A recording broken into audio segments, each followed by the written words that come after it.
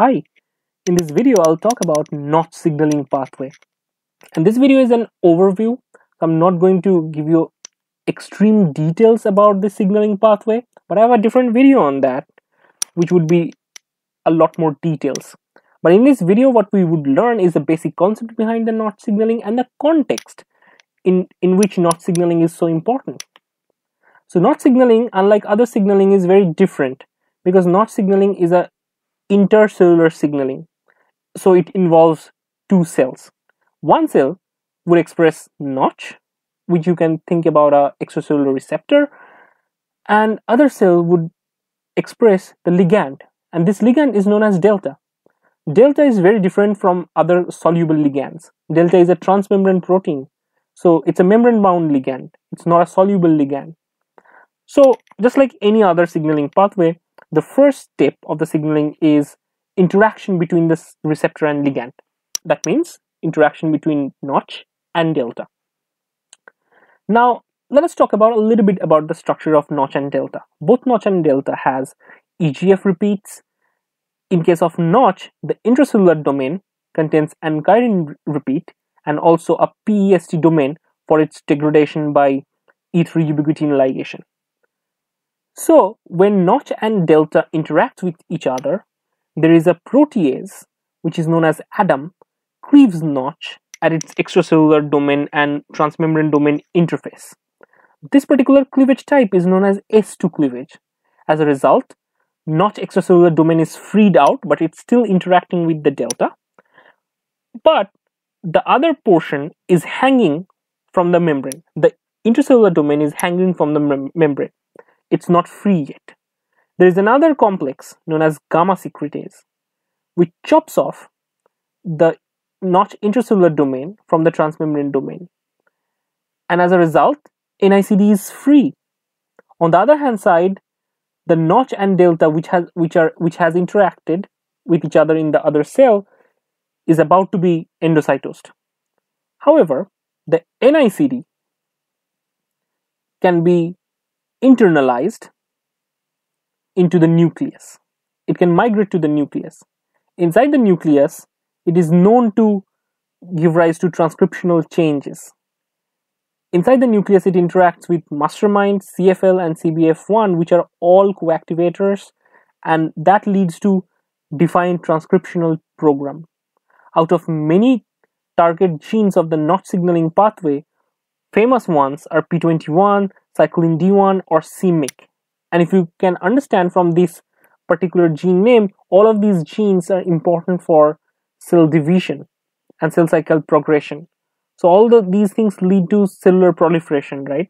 And that's why in context of cancer, notch signaling is found to be heavily altered. Increased notch signaling would increase the cellular proliferation and lead might lead to cancer.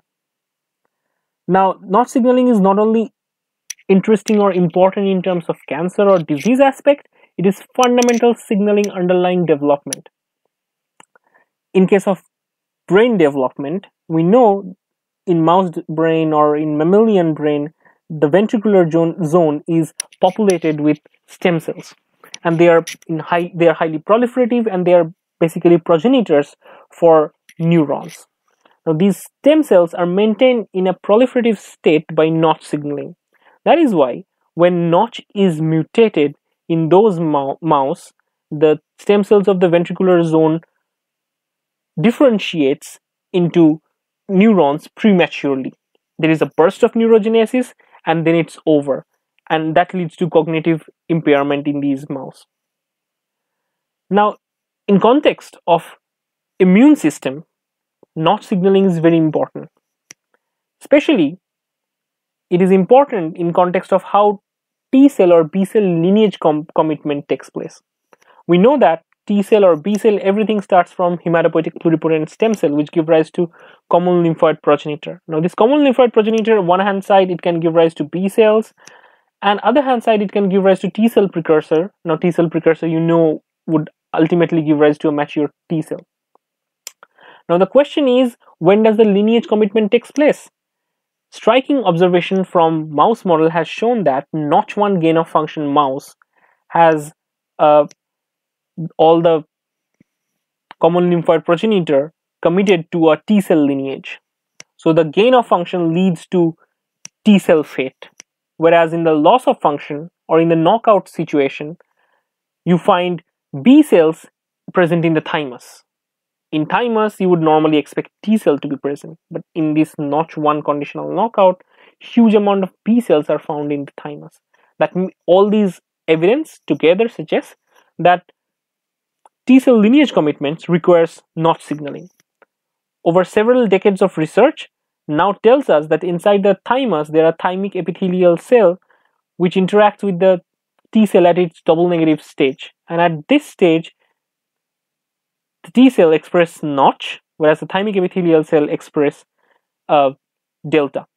Now, this notch and delta interaction between T cell and thymic epithelial cell leads to their lineage commitment, and they are never going to get back to a B cell state. From now on, they're committed to become a T cell. Now, if we compare notch signaling with other signaling pathways like GPCR signaling or MAP kinase signaling, we would see a striking difference. And the striking difference is the modulability. Apparently, you might think that because G, both GPCR signaling and MAP kinase signaling has several steps, and at several steps, there are opportunity to modulate this signaling or control the gain of this signaling.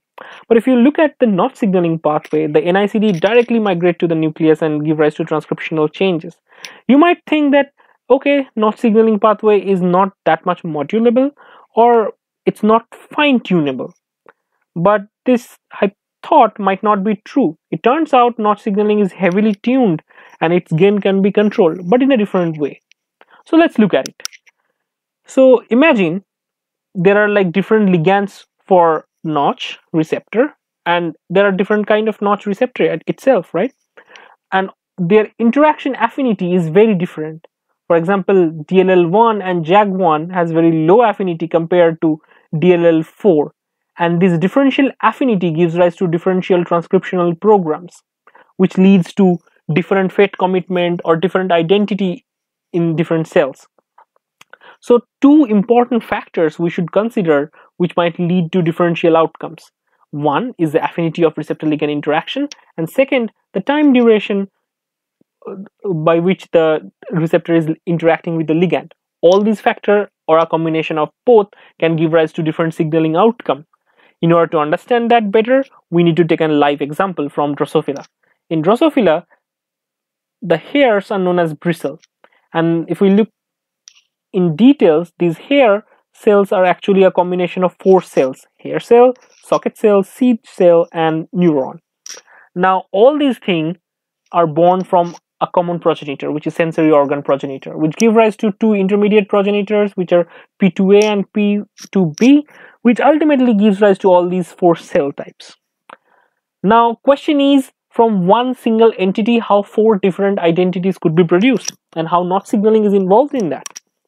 It turns out, in the sensory organ progenitor, a protein, NUMB, is at very high level, and it is asymmetrically distributed and it is propagated also via asymmetric division.